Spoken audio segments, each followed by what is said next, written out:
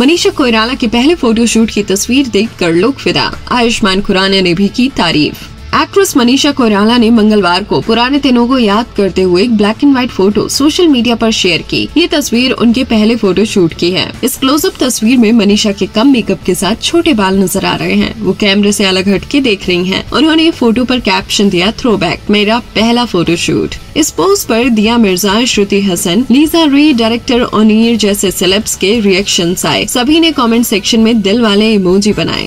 Actor Gabriela right ने लिखा beauty वहीं आयुष्मान खुराना ने पोस्ट लाइक करते हुए उसे अपनी इंस्टाग्राम स्टोरी पर शेयर किया और कैप्शन दिया, मनीषा कोयराला की तारीफ़ की कहानी।